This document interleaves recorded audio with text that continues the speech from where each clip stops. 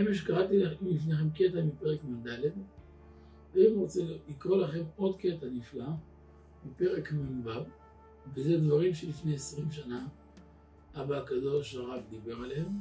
בשיעור, אני זוכר, נוכחתי בשיעורים האלו, הייתי בעצמי בשיעורים האלו במשך עשרים שנה, יותר קצת, וזה נבואה ממש. אגב, מי שאין לו, או שיש את הישן, השבוע הגיע מבואה חדשה, אתם רואים?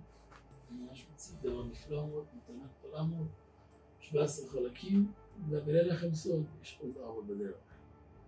אגב, מי שכבר נמצא בעניין, יש כאן גם סט חדש שלנו, של תורה של ארי ונועם, הצרפתית, שלוש חלקים, לקהל הצרפתי.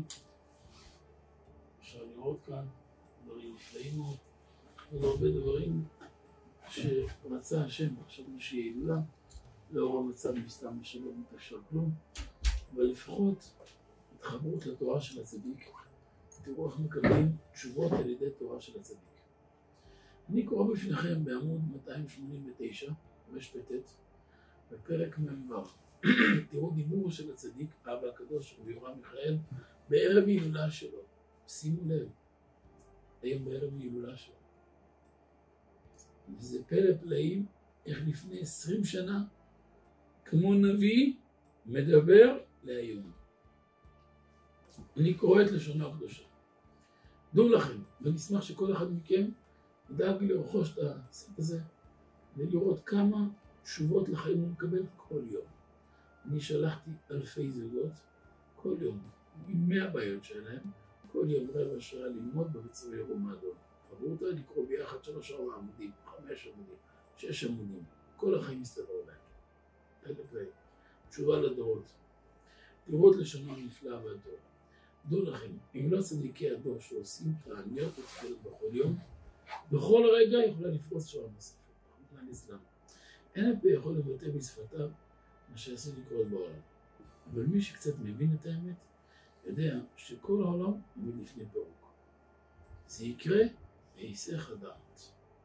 ביום מן הימים יהיה מי שישלח אטום, ואז ברגעים אחדים הכל יהפך לאבק.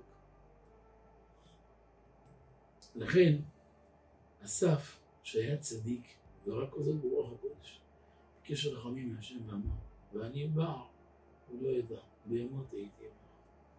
דהיינו כמו טיפש שלא יודע ולא מבין כלום מה שהוא עושה. כמו הבהמה שלא יודעת ולא מבינה כלום מה שהיא עושה. גם עם ישראל עושים מה שעושים בלי לדעת. רק ברמת רוב הבלבול והחושך ששורר בזמן הגלות. לכן אין לדון אותם, אלא לנהוג עמהם ברחמים גדולים. תראו להם זכות עלה. כשאדם מחזיק מעשר שיודע, הקדוש ברוך הוא כועס עליו. כי אז נקרא שהוא עושה במזיד. אדם לא יודע מה שהוא עושה, עושה בשוגג.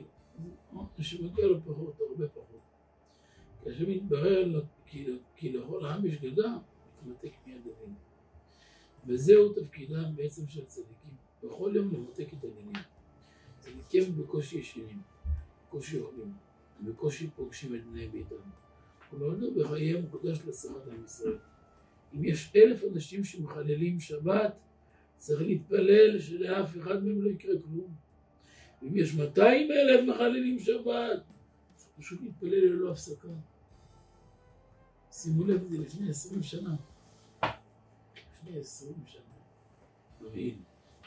ומה קרה השבוע? ליל שבת, מסיבה של צעירים. כואב הלב, כואב הלב. הדמעות נקשרות בעיניים. באה השבת וטבעת האלפון שלה. זה אנשים כל כך יקרים, יהודים כל כך טובים, נפלאים כל כך. קצת הסתובב להם משהו, התבלבלו קצת. ממשיך, יש כל מיני מצבים קשים בעם. כל מיני תופעות חדשות, זה לא פשוט. השם מעריך אפו בזכות הצדיקים, כמו שמצינו אצל אברהם אבינו שהתפלל על סדום, והשם הסכים. מעשרה צדיקים לא אשחיר את העיר, אני אשאיר אותה. אבל לא היה. מה היה אחר כך? באמת השם הפך את כל הערים, יש גופרים מהשמיים, לא נשאר כלום. הבעיה היא שאנשים שמותחים את החבל יותר מדי. יודעים שזה אסור, יודעים שהחילול שבת חייבים סקילה, יודעים שהאיסור נידה חייבים כרת, אלה שיש חייבים חלק, יודעים הכל, מתרגלים למצב הזה, הוא אומר לך, זהו, זה אני, זה אני וזהו.